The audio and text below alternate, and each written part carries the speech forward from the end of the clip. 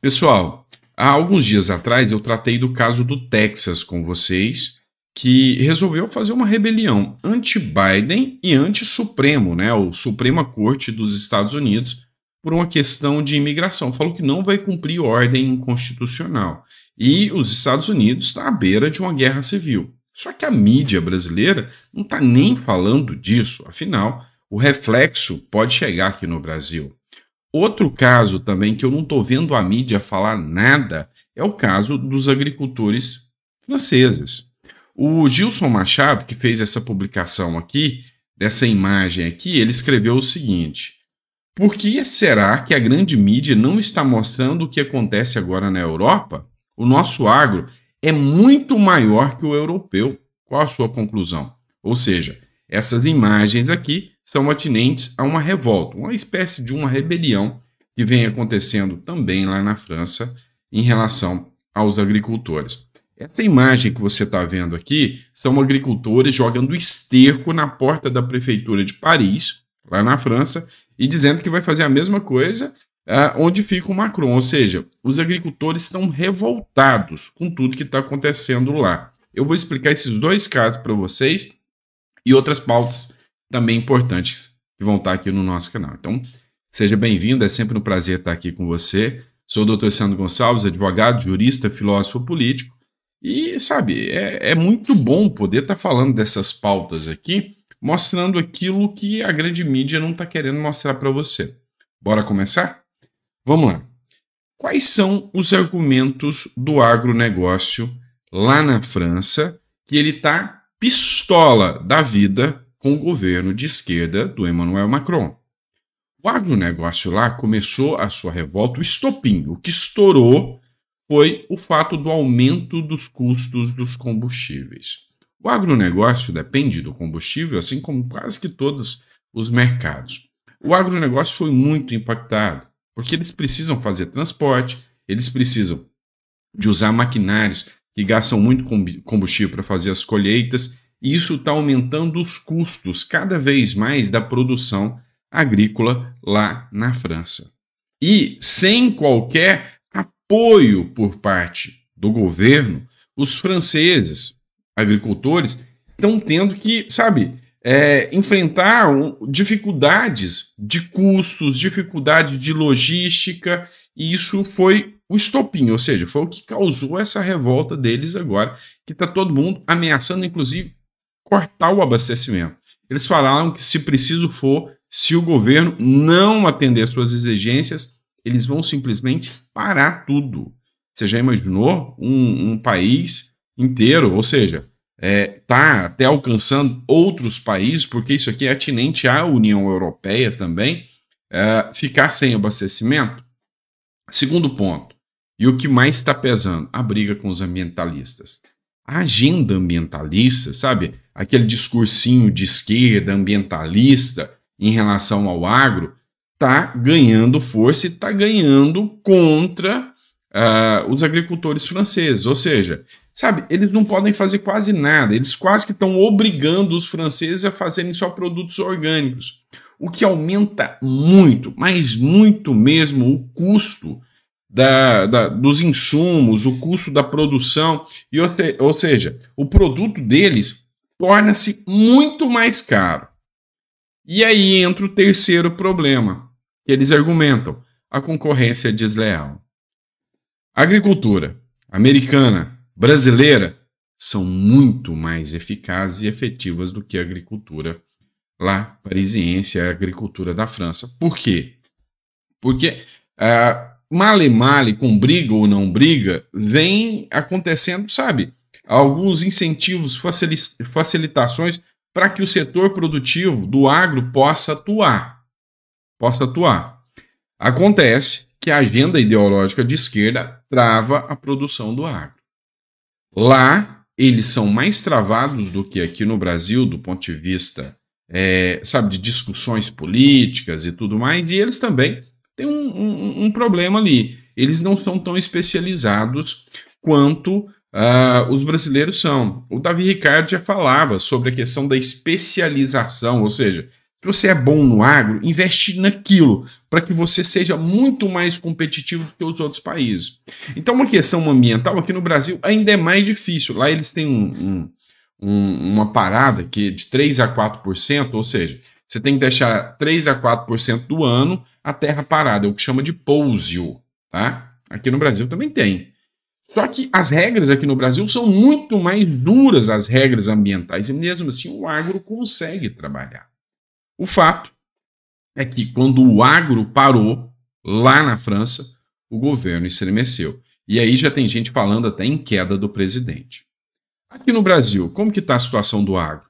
Até pouco tempo atrás, no antigo presidente, o agro era incentivado. Com as políticas públicas do Paulo Guedes, que entende muito bem essa questão da especialize no que você é bom e terceirize aquilo que você não é tão bom. O Paulo Guedes entendeu que o Brasil Aqui, a pistola de ouro do Brasil é o agronegócio, investiu muito. O atual governo? O atual governo não vai no mesmo sentido. Matéria da revista Oeste: Lula volta a atacar o agro, mau caráter e fascista. Ou seja, temos um presidente que abertamente é contra o agronegócio. Temos ministros, como a Marina Silva, que é totalmente contra o agro, chama o agro de ogronegócio. Apesar do agro alimentar grande parte dos brasileiros, apesar do agro alimentar grande parte do mundo, o agro é o que sustenta esse país ainda de pé. Sem o agro, a gente estava perdido. E aí vem essa turminha tosca da esquerda, como por exemplo, um comentário desse aqui do José Dirceu, ataca empresários do agronegócio e diz que se comportam como fascistas. Ou seja, agenda ideológica totalmente de esquerda aplicada no agronegócio dá o que acontece na França. Perdeu competitividade. Hoje o Brasil exporta 25% de tudo que a União Europeia consome vem do Brasil. Os Estados Unidos está em segundo lugar com 20% para você ver o, o, tamanho do agronegócio brasileiro. Então, assim, senhores, o que, o que se faz em relação ao Brasil é, é, é, é sabe, o que está fazendo agora vai ter riscos e vai ter efeitos ali na frente. Olha só, o Enem no Brasil. Ao atacar o agro, no Enem, governo Lula prega a volta da idade da pedra. Portal News Brasil e também matéria da Gazeta do Povo. Ou seja, totalmente ideológico, ideológico e, uh, sabe, é, anti-agronegócio. Ou seja, a ideia que você vê nas escolas, a ideia que você vê em todos os setores que vem do governo, é aquela de que, olha, o agro é mal, o rico é mal, o produtor é mal, o empresário é mal, quem é bonzinho é o comunista que veste a camisa do Che Guevara, é o professor de história, é o professor de filosofia, e eu falo com propriedade porque eu sou filósofo. Então, assim, a questão é muito complexa, é muito complexa. Por quê? Porque essa ideia, essa agenda ideológica de esquerda aqui, vai ter reflexo ali na frente. E aí a gente entra no, no ponto aqui que o Gilson Machado levantou. Por que, que a mídia não não bate nessa tecla como bate na tecla do caso da Binda aqui, do caso da Marielle, até descobrir que não era o Bolsonaro. Depois que descobriu que não era o Bolsonaro, acabou o assunto. Por que, a mídia não bate tão em cima? Porque o agro brasileiro é muito, mas é muito muito mais forte do que o agro francês. Muito mais forte. E se o agro brasileiro falar, eu vou parar, eu vou protestar, eu vou para cima, aí, meu amigo, vários locais do mundo vão cobrar. Por quê? Porque o Brasil manda alimento para esses lugares. Imagina a União Europeia ficar sem 25% dos alimentos que vão para eles. Aonde que eles vão correr atrás de uma hora para outra para conseguir suprir isso? Ou seja, se o agro aqui no Brasil resolver tomar as rédeas da coisa, fica bem mais feio. Matéria do Poder 360. Gasolina, diesel e gás de cozinha ficarão mais caros na quinta-feira. Ou seja, está ficando mais caro, né? O que acontece? Diesel mais caro, agro mais caro, carne, a picanha e a cervejinha, depende do agro, meu amigo. Vai ficar mais cara, tá? Vai ficar mais caro. E o agro, ele está fazendo o quê? Olha, eu estou repassando os custos. Vai ficar tudo mais caro, eu estou repassando os custos. Por quê? Porque se vocês, brasileiros, perderem o poder de consumo aqui por culpa do governo e eu não conseguir vender para vocês, eu exporto. Agora, se o governo impedir de exportar para manter populismo de preço, aí o agro vai para a rua. Aí o negócio fica mais complicado. Ou seja, aqui uh, os sinais é, vêm acontecendo de que algo, algo pode não dar tão bem assim para o governo. Outro ponto que não está sendo discutido é o caso do Texas. Vamos lá. O que aconteceu no Texas eu vou te relembrar. O Texas aconteceu o seguinte: houve um aumento exponencial da violência. Trump, a direita e grande parte de setores é, de combate à violência argumentam que muitas pessoas vêm pela imigração e esses imigrantes estão aumentando exponencialmente o, o, o, a violência nos Estados Unidos. Só para você ter noção, colocando isso em números, lá nos Estados Unidos, antes dessa imigração desenfreada, havia um, uma, uma média de mortes aí de três pessoas a cada 100 mil habitantes. O que é baixo. Não tão baixo, mas é baixo, se comparado ao Brasil. Hoje é seis pessoas para cada 100 mil habitantes, ou seja, aumentou muito, quase que dobrou a violência nos Estados Unidos. Enquanto que aqui no Brasil, a gente está com 27 mortes a cada 100 mil habitantes. Vê o quanto nós somos mais violentos do que os Estados Unidos, somos um dos países mais violentos do mundo. Tá. Mas o assunto é lá. O que, que a Suprema Corte fez? O Biden mandou o Texas tirar cercas da fronteira e humanizar a imigração, ou seja, deixa a imigração vir, humanize isso, não seja hostil com os imigrantes. O Texas falou: não, não vou fazer isso, a cerca fica. A Suprema Corte, ou seja, o STF dos Estados Unidos, falou: vai arrancar sim, o Biden mandou, você tira. O Texas respondeu: não. Eu entendo que a sua decisão é inconstitucional. E se as tropas federais pisarem no meu estado, vão ser recebidas na bala. Depois dessa declaração, caminhoneiros foram para a fronteira do México com o Texas para ajudar o Texas e falaram: se vier, nós estamos do lado do Texas. Acontece que eu tenho um gráfico aqui para mostrar para vocês. Dá uma olhadinha nesse gráfico aqui. Tá vendo em laranja? Pois é, são os estados que falaram: olha, se vocês forem para o Texas, nós vamos a favor do Texas contra o governo federal. E aí o governo federal cai. A fonte disso aqui é do Poder 360 ainda, tá, pessoal?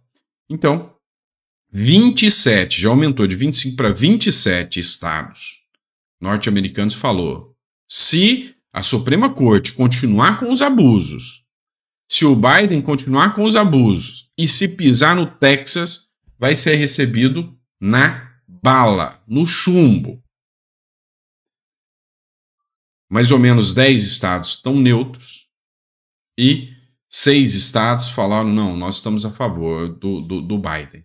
Ou seja, não dá nem para se falar em racha lá nos Estados Unidos. O que a gente está falando é massivamente estados se opondo ao governo federal. Mais uma vez, a grande mídia está tratando disso aqui como trata a questão da, da, dos peixes que morreram lá na, nas fontes do Palácio do Planalto, ou o tapete que estava estragado quando a Janja foi para lá. Não, a mídia não está tratando desse jeito. A mídia parece que não quer que o povo saiba. Olha, olha o que está acontecendo lá nos Estados Unidos. Não quer. Por quê? Porque se repete aqui, o bicho pega. Vamos lá, outra matéria que eu quero tratar com vocês aqui, ó. Matéria do Correio Brasiliense. Os coronéis da PM acusados de omissão no 8 de janeiro são transferidos para a reserva. Pessoal, já não está nem se falando mais do Coronel Fábio Augusto Vieira, né, o, o, o Fábio Vieira, e do Clepter Rosa Gonçalves. O Clepter Rosa e o Fábio Augusto, ambos foram é, alvo ali da, da, da, da, CPI do 8 de janeiro, a gente fez muito acompanhamento sobre isso. O Klepter, ele tem um ponto aqui, sabe, é, que merece destaque. Porque o Fábio Vieira era quem comandava. Quando ele saiu, o Augusto Capelli veio, o, o, o Paulo Capelli, desculpe, veio, que era o, o, o interventor, e promoveu o Klepter. Depois que se descobriu que algumas ordens tinham vindo do Klepter, que o Fábio é, é, Vieira falava que ele tinha é, sabotado, ele foi promovido pelo governo Lula. E agora, tanto o Fábio Vieira quanto o Klepter foram mandados para reserva, ou seja, foram punidos aí e encontram-se presos. Outro caso que a gente não está falando mais, já não se tem informação, inclusive está com problemas de saúde, para mim é um dos maiores erros do judiciário, é atinente à questão do Coronel Naime, que a gente já não fala mais, né? Mas as omissões do governo Lula, ah, essas aí ficarão por isso mesmo, tá bom? Vamos lá, a última matéria que eu quero tratar com vocês é essa aqui. Esse aqui é o prefeito é, é, de uma cidade do interior de São Paulo. Ele cancelou o carnaval depois de um tumulto. Vamos lá, que eu quero falar sobre isso aqui. Verba para educação. A Prefeitura de Boa Esperança do Sul, cidade do interior de São Paulo, decidiu cancelar a festa de carnaval deste ano prevista para ocorrer na cidade, conforme o prefeito Manuel do Vitorinho, que é do PP, o mesmo partido do Lira. A decisão foi tomada em razão de brigas que ocorreram durante o fim de semana em apresentação do pré-carnaval. Inicialmente, venho aqui para repudiar o que aconteceu no fim de semana, tanto no sábado, dia 27, quanto no domingo, dia 28, Acho que quando a gente se propõe a fazer uma festa de graça, mentira, mentira, para a nossa população, é para que nossos munícipes venham se divertir. Vamos entender o seguinte, tá? Eu não conheço a cidade, gostaria de conhecer. Deve ser uma cidade linda. Todas as cidades de São Paulo, eu tenho que tirar o chapéu. Mas vamos entender o seguinte: ia ter a festa, o povo brigou, e aí ele resolve: não, eu não vou mais fazer a festa. Eu vou colocar o dinheiro no ar-condicionado das escolas. Eu acho o cúmulo do absurdo fazer festa de carnaval, fazer parada gay, fazer marcha para Jesus, qualquer coisa de festa com dinheiro público. Deixa eu te ensinar uma coisa básica da economia para sua casa. Você vai festar quando as suas coisas estão em ordem. Vamos lá. Você tem aí a sua casa. A sua casa está com a conta de energia atrasada, mas os seus amigos te mandam, uh, te chamam para fazer um, um churrasquinho na sua casa. Aí você vai ter que dar um ambiente, ajeitar tudo, colocar uma cervejinha. Você está com a conta atrasada de energia. Você vai fazer festa? Não. Mas vamos lá. Prioridades. Você não está com nenhuma conta atrasada. Mas aí na sua casa, tá com aquele maldito vazamento na caixa d'água que tá deixando o seu telhado estourado. Você tem trezentinho, que é o custo para consertar aquele vazamento. Você vai fazer uma festa para os seus amigos ou vai consertar o vazamento? Então, não tem que ser porque teve uma briga que você não vai fazer carnaval. O dinheiro do carnaval tem que ser aplicado na educação, na infraestrutura, no saneamento básico. É um país que nem 30% da população tem saneamento básico mas tem carnaval. Ah, tá de brincadeira, né? Então, sabe, não, não acho que, que, que foi mérito cancelar por causa de briga. É mérito ter cancelado. Isso eu não nego. Mas tem que cancelar mesmo. Esse negócio de carnaval já deu. Já deu. Ah, movimenta milhões de reais. Meu irmão, já deu. Tá? Carnaval não movimenta milhões de reais assim, não. Essa conversa de que, ah, você pega uma cidadezinha. Vou dar um exemplo. Teve uma cidadezinha aí que tá faltando é, merenda escolar, os caras foram lá e vão pagar 1 milhão e 300 para um show do Gustavo Lima. Então, de brincadeira comigo, cara, para mim, um prefeito que faz uma coisa dessa, esse cara, é, ele tem que ser preso.